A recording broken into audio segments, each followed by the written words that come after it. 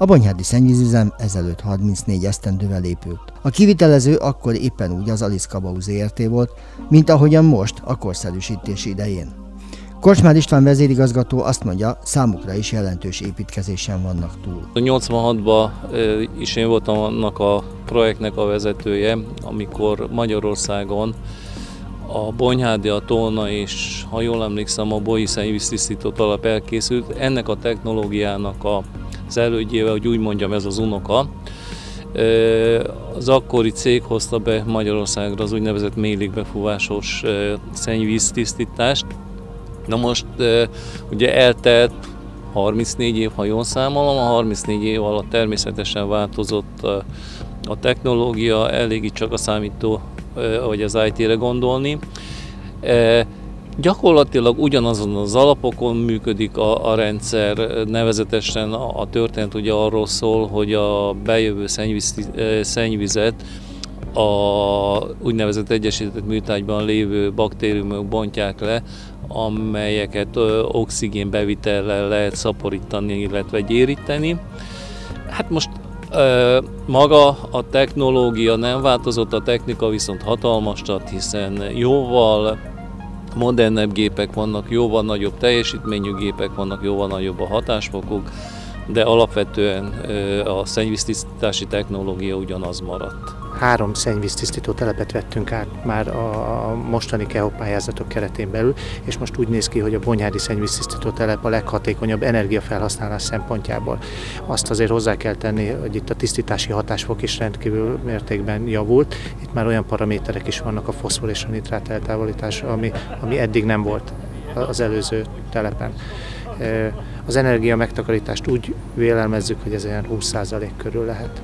Én azt gondolom, hogy a, a megyei vízellátás szennyvízkezés tekintetében nagy munka, hiszen hogyha összeszámolom, ez négy településnek a szennyvíz problémáját oldotta meg, remélem következő 30-40 évre.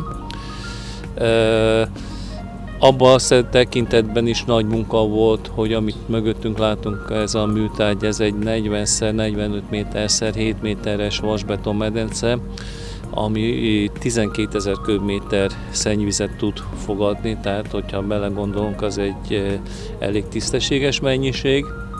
Maga a kivitelezés során 2500 köbmétert építettünk be csak ebbe a műtágyba, és több mint 400 tonna betonacél került bele. Az imént említett négy település Cikó, Nagymányok, Kakasd és Kismányok szennyvizét is fogadja a most elkészült mű. Itt a hálózaton, az szennyvízelvezetésnél rekonstrukció valósult meg, három településünkön, ez Nagymányokon egy 1800 méteres szennyvízhálózat rekonstrukció, ez egy felújítást jelent, ami egyébként azért fontos, mert a talaj szennyezését is megakadályozta, illetve azon idegen vizeknek a beáramlását, mondjuk a pataknak a beáramlását a vezetékbe, ami többletköltséget jelentett nekünk a, a tisztításnál.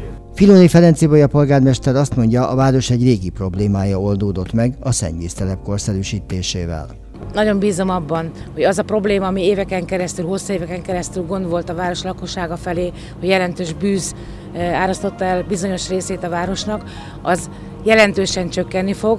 Bízom benne, hogy akár meg is szűnhet ennek a rekonstrukciónak köszönhetően.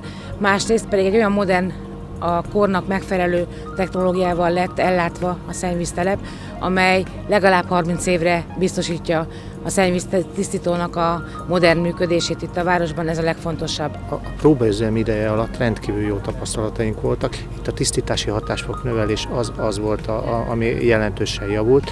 Én azt gondolom, hogy egyébként a környék lakói is észrevették például a lakosság részére kellemetlen tényezők, ami a szakhatás, a zajhatás, ezek csökkentek olyan mértékben, hogy itt, itt most lehet hallani egy alapzaj, de lényegesen kisebb, mint a, ami az előző szennyvíztisztító telepen volt. A Bonyhádi egy országosan futó szennyvíztelep fejlesztési program egyik elemeként 1,8 milliárd forintból valósult meg.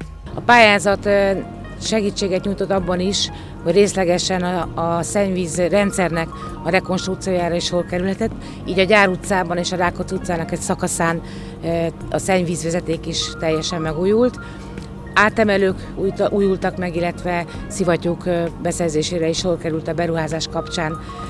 Nagyon fontos azt is elmondani, hogy hosszú időszakon vagyunk túl, hiszen csak a próbaüzem 6 hónapig zajlott, most nem olyan rég, november végével zárult le, és mindebből a komoly építkezésből a lakosság gyakorlatilag a szennyvíztelepnek a működése során, meg a szennyvíz elvezetésnek a során nem vett semmit észre, de ez csak úgy valósulhatott meg, hogy akik ebben részt vettek, közreműködtek, a kivitelező Aliszkabau Kft., illetve maga a szolgáltató, a Mezőföldvic Kft. olyan szinten tudott együttműködni az önkormányzattal, ami ezt eredményezte, én ennek nagyon örülök.